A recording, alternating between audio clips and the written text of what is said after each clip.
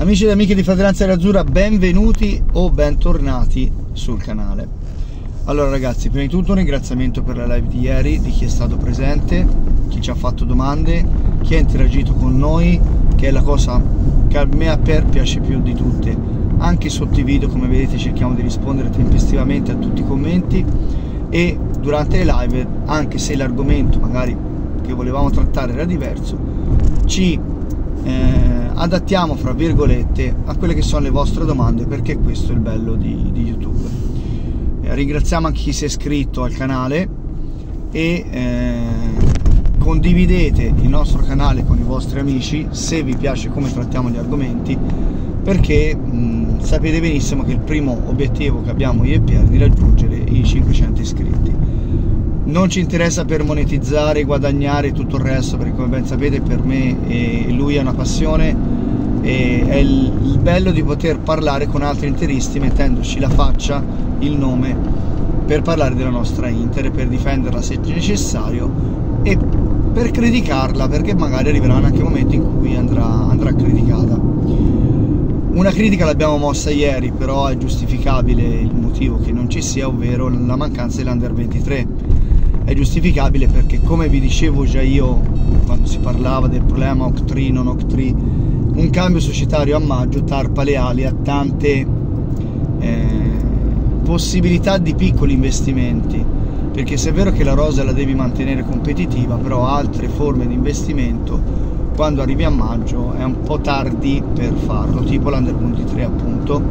dove devi aver già fatto tutte le richieste, tutte le iscrizioni e tutto il resto sul discorso Lega Pro e poi devi metterti lì a aspettare che qualcuno non si iscriva per poter prenderti il posto.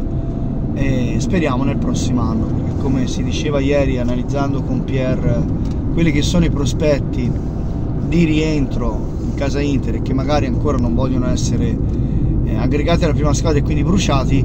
eh, l'Under 23 potrebbe essere molto molto molto utile perché non sei più a giocare con eh, pari età ma sei a giocare con persone più adulte, più scafate, più esperte che magari sanno anche metterti più in difficoltà, è lì che si vede se un giocatore è maturo per il salto di qualità o meno. E al di là dell'estero le strisce pedonali hanno dimostrato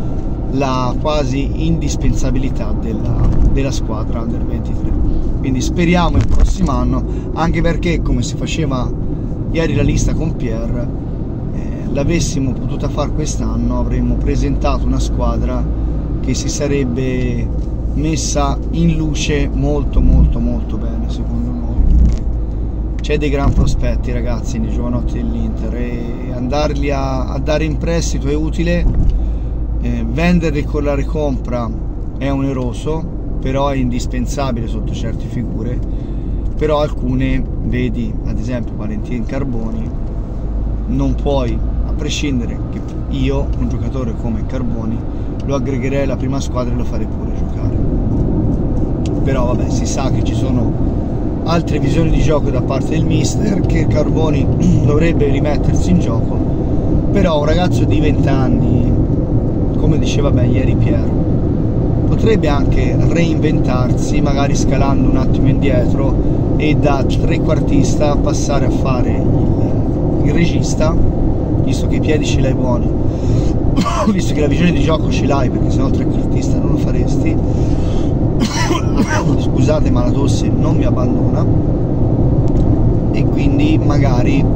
potrebbe essere quei prospetti da buttare nella mischia. Però ci vuole coraggio da parte del, dello staff e del mister e ci vuole pazienza da parte del, del tifoso. La pazienza che sta dimostrando essere utile anche il nostro management perché notizia di ieri Josep Martinez è pronto a firmare, sembra ci sia, manchi solamente lo scambio dei documenti firmati, ma sia già tutto fatto con il Genoa, con 14-15 milioni di parte fissa più bonus. Ora, io so che Pier preferiva Vento e posso anche arrivare a capirlo, però Martinez è un portiere che conosce il nostro campionato, un portiere pronto, è un portiere che come se arriva dalla cantera del Barcellona È un portiere che ha attraversato di difficoltà l'anno scorso in Serie B con il Genoa, quando aveva perso la titolarità e se l'è andata a ricostruire. E è un portiere che quest'anno, volente o nolente, ha messo a segno ben 8 clean sheet. E scusate, ma 8 clean sheet con una squadra come il Genoa valgono molti, molti, molti più clean sheet con una squadra come potrebbe essere l'Inter, visto che la difesa del Genoa sicuramente non è la difesa dell'Inter. Quindi diamo non ancora il benvenuto, ma possiamo dire che è stato un ottimo colpo della dirigenza, è stato un colpo che fa capire che al di là di Zelischi e Taremi la squadra non è ancora finita di costruire, ci sono altri colpi in in canna perché si parla che nella seconda settimana di luglio potrebbe esserci l'incontro definitivo per portare Gudmundsson all'Inter. Però la cosa che voglio ribadire non per andare sempre a parlare degli altri perché come abbiamo fatto in live siamo molto contenti e Pier di aver abbandonato tutti quelli che sono gli strascichi societari anche se chiudo il video con una cosa che mi ha chiesto Simo ieri per cercare di specificarla meglio ma che riusciamo a parlare di calcio giocato o comunque sia di calcio mercato perché sinceramente ci eravamo un po' stancati di fare i, i calcolatori piuttosto che i tifosi. E quindi vi dicevo dovrebbe esserci la chiusura per Goodmanson e caso strano l'Inter ha, a prescindere da quello che viene detto che con Zang piuttosto che senza Zang non c'era la possibilità di progettare, progettare il calciomercato. Mi sembra che sia l'unica squadra che ha già ben chiaro quelle che sono le sue necessità che cerca di anticipare i colpi con i parametri zero che sono a disposizione. E dall'altra parte invece si parte da Zirze e si arriva a Lukaku passando da Sesco che poi alla fine in Italia non verrà mai e quindi mi sembra che dalle altre parti sono quelle accozzaglie dove c'hai l'obiettivo A, l'obiettivo B, l'obiettivo C e Mister X. l'Inter quando ultimamente cerca un giocatore lo cerca sotto traccia e poi lo chiude. Quindi speriamo di continuare così. Ci sono ancora due mesi che sono tanti, sono lunghi e staremo a vedere quello che, che finirà di fare la nostra dirigenza. Sotto l'aspetto societario, che poi non è societario, è sotto l'aspetto economico-finanziario dell'Inter,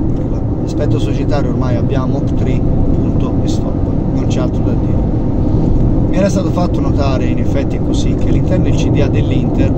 è entrato uno dei responsabili del settore bond di Oct3 e ieri Simo in, in live mi chiedeva appunto eh, che cosa ne pensavo del fatto che Octree fosse uno dei sottoscrittori del bond emesso da Intermedia House in scadenza nel 2027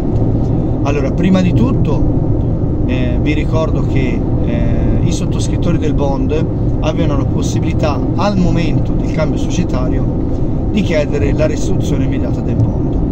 E ovviamente questo sarebbe avvenuto solo ed esclusivamente nel caso di un passaggio di proprietà dove che l'acquirente non fosse una persona che eh, solvibile o che dà garanzie a chi ti ha prestato i soldi. Ovviamente il termine è scaduto, nessuno ha esercitato l'opzione e quindi si va al 2027. D'altro lato, quello che mi è stato detto, dice ma Octree fa parte del... Sì, ragazzi, Octree è nei suoi tanti eh, aspetti societari è anche una società di collocamento di eh, prestiti obbligazionari emessi da aziende private piuttosto che società di eh, investimento, quindi tipo fondo comune investimento, chiamiamolo così alla vecchia maniera. E quindi sì, Octree ha acquistato parte del bond emesso da Intermedia House, ma Octree l'ha anche rivenduto, fra virgolette, perché non è che lo rivende, ai suoi sottoscrittori. Perché quando una persona va a sottoscrivere un fondo comune di investimento, prende una quota di un fondo che ha determinati investimenti. Quindi Octree non è che può dire sì, io ho 70 milioni del bond emesso da Intermedia House, quindi Intermedia House deve solo rimborsare 400 perché 70 sono in casa, non è così che funziona, perché ovviamente quei 70 che devono essere rimborsati da chi ha emesso il bond è, sono soldi che Octree deve comunque sia riconoscere a persone terze. E questo vale per Octree come sarebbe valso per Pinco come sarebbe valso per tutte quelle società di investimento che hanno acquisito una parte di quel bond. Quindi non c'è eh, possibilità di fare compensazioni Intermedia House nel 2027 dovrà rimborsare questi soldi che in parte sono stati girati all'Inter e che quindi che l'Inter dovrà rimborsare a Intermedia House. Ragazzi, un buon giovedì a tutti, un sempre e solo grandissimo Forza Inter, come diciamo sempre alla fine di ogni video, e vi ricordo che poi ve lo metto anche in descrizione che abbiamo aperto il canale Instagram canale Instagram dove il quale stiamo iniziando un po' a lavoricchiarci sia io che Pier con storie con, eh, con qualche post quindi iscrivetevi anche a quel, la, quel, canale lì perché tutte le notizie di YouTube finiranno di là e viceversa più stiamo cercando delle collaborazioni su Instagram e quindi più siamo